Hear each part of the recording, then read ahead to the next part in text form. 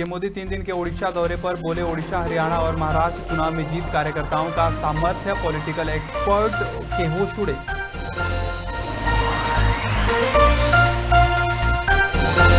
SC का आदेश संबल मस्जिद की सर्वे रिपोर्ट नहीं खुलेगी। इलाहाबाद हाईकोर्ट में एक और का पुलिस अफसरों पर एफआईआर दर्ज करने की मांग।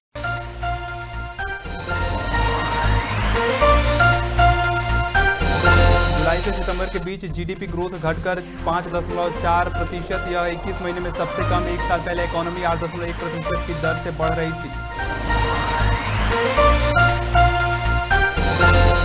खड़गे बोले, कांग्रेस में ऊपर से नीचे तक बदलाव की ज़रूरत, हमें चुनावी रणनीति में सुधार करना होगा। माहौल पक्ष में मतलब जीत की गारंटी नहीं।